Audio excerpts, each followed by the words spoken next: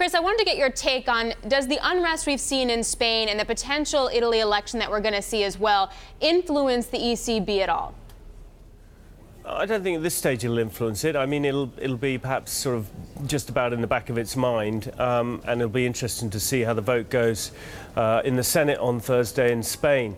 Um, but I think at the moment it won't be a key focus for the ECB. Their focus will be on the on the eurozone economy, on inflation, and on really how they're going to pan out this tapering plan that they've been really telling markets about for, for an awful long time.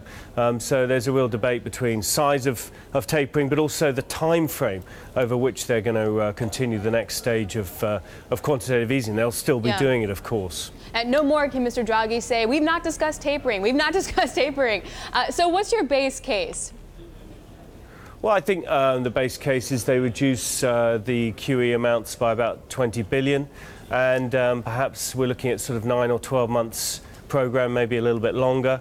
Um, but really, I think all things will be in the air, and, and the markets will listen closely for that, but also for what Draghi says, his tone in the press conference, I think, will be critical, and, and how he handles the questions. Hey, Chris, we talked about messy politics across Europe for quite a while now. How do you think he's going to navigate the, the latest rupture in Spain?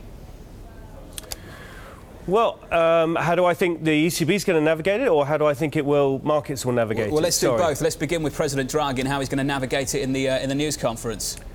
Well, I think I mean I think he will say it's largely a local issue, and as long as there's um, uh, no disruption in the bond market. So if you look at Spanish bond spreads, they haven't widened in the last week or two, quite the reverse. So I think he'll look to that, and if there's no disruption in markets, he'll just largely put that issue to one side and, and, and call it a local issue. If if it does become a, an issue in terms of widening spreads in, in the Spanish bond market, then the ECB will get more interested. But at the moment, it's remarkable how quiet and how quiescent the Spanish bond market's been about this issue.